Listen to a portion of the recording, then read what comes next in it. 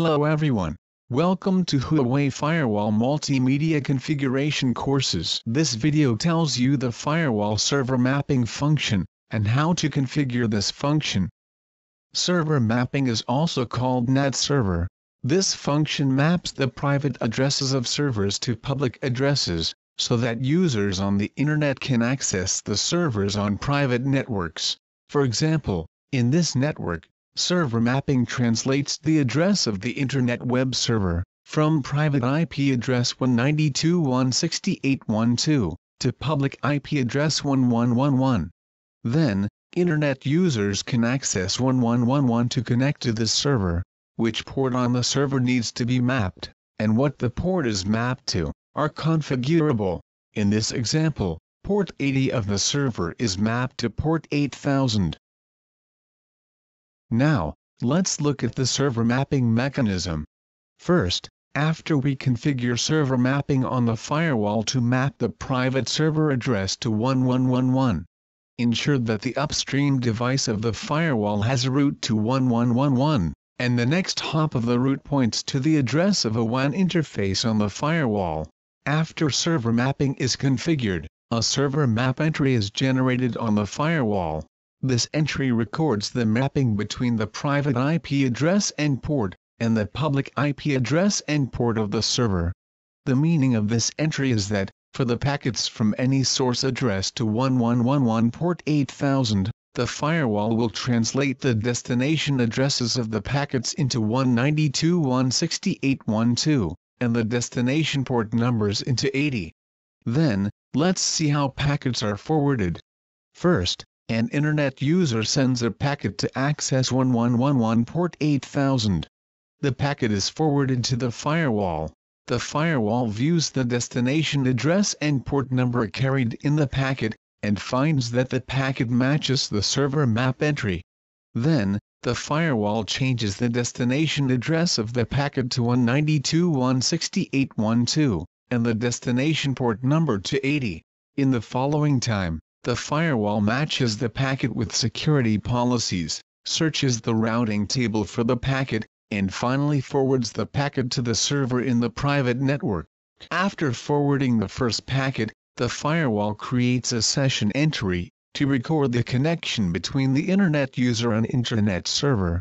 After the reply packet from the server arrives at the firewall, the firewall translates the source address of the packet from 192.168.1.2 to 1111, and the port number from 80 to 8000, based on the address and port mapping recorded in the session entry, and then sends the packet to the internet. Next, let's see how to configure server mapping for this example on the web UI. Log into the web UI, choose Policy, NAT Policy, Server Mapping, then, click Add. Enter a server mapping name. Set type to static mapping. Enter 1111 in the public IP address text box. Enter 192.168.1.2 in the private IP address text box. If you need to map a segment of private IP addresses to a segment of public IP addresses in one-to-one -one mode, you can set private IP address to an address range. For example, you can enter 192.168.1.4 in the second text box to specify a private IP address segment from 192.168.1.2 to 192.168.1.4. Then, public IP address automatically stretches to an address range from 1111 to 1113. The effect of this configuration is that 192.168.1.2 is mapped to 1111. 192.168.1.3 to 1112. 192.168.1.4 to 1113. If you need to map ports, select Allow Port Translation, and set port translation in the following part. In this example, TCP private port 80 is mapped to public port 8000. The port mapping configuration for UDP is the same as that for TCP. As ICMP packets do not have port information, port translation configuration is unnecessary. allow the server to use public IP address for access internet, is selected only when the server needs to access the internet. If this option is selected, the firewall will translate the source address of the packets sent from the server to the internet, from 192.168.1.2 to 1111. The next field destination zone determines the type of security zone that the internet server can access. For example, if you set destination zone to untrust, the firewall translates the source addresses of packets sent from the internet server to internet, only when the destination addresses belong to untrust security zones, that is to say, the source addresses are not translated when the server accesses other security zones.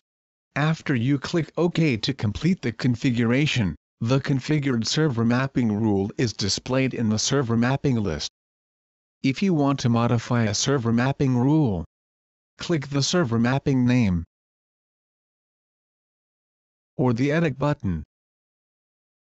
If you also need to map port 21 of the server to a public port, you can directly copy the existing server mapping rule, instead of creating another rule.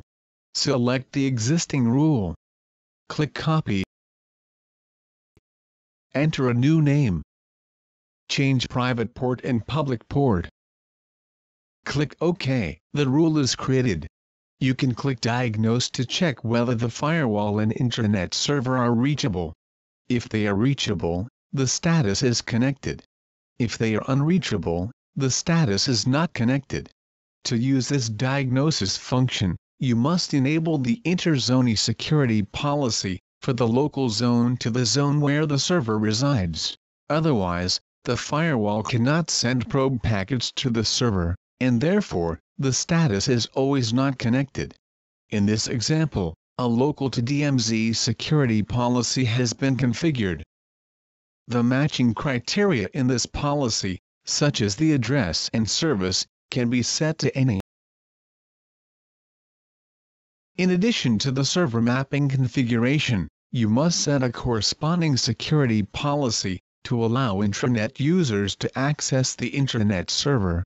In this example, the following policy is configured for your reference. In this policy, source zone indicates the zone of Internet users, so it is set to untrust. Destination security zone indicates the zone of the server, so it is set to DMZ. Source address is set to any.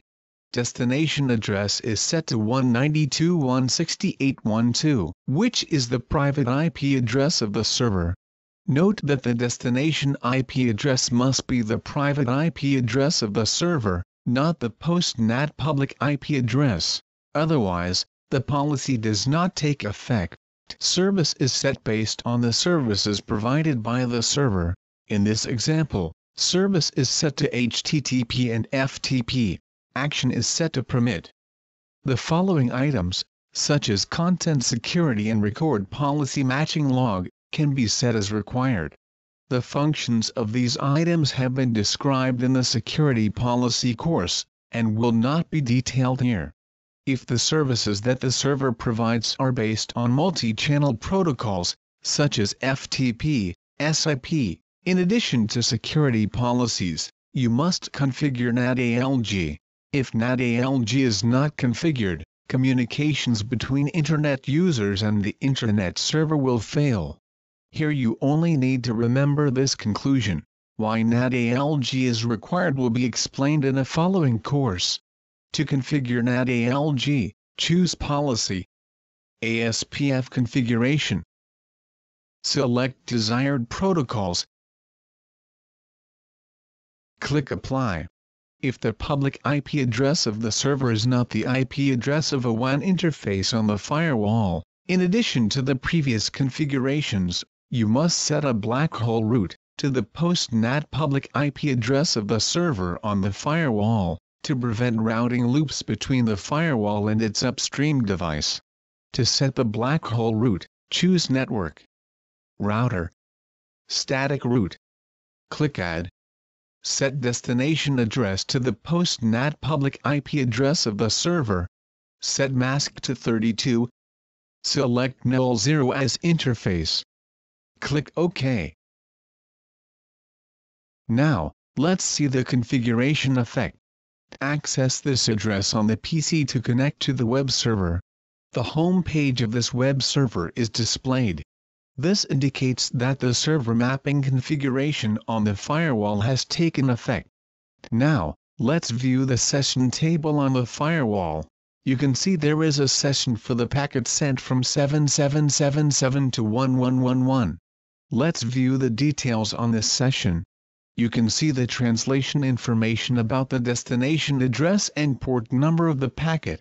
The destination address is translated from 1111 to 192.168.1.2. The destination port is translated from 8000 to 80.